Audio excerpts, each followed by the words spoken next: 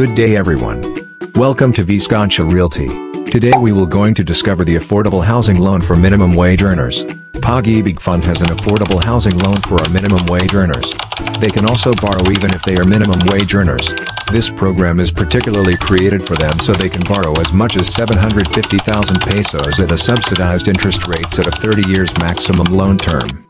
Since Pag-ibig Fund is tax exempt, whatever they save they float it back to the member through the form of interest subsidy. That's why in the Affordable Housing Loan Program, interest rates per annum. For this affordable housing loan program, we look at the income and cluster of our borrower if they qualify.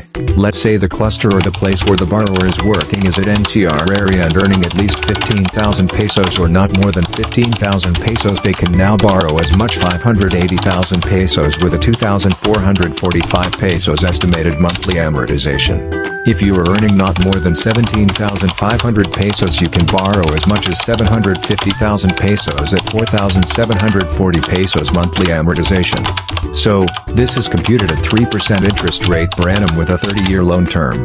That is affordable housing loan for the minimum wage earners. Question is this. What if their income exceeds that bracket? The answer is this. It will be considered as regular housing loan as long as the income for NCR is 15,000 pesos and 17,500 pesos. For the regions, if located outside NCR area the income should be not more than 12,000 pesos to borrow 580,000 and 14,000 pesos to borrow up to 750,000 pesos.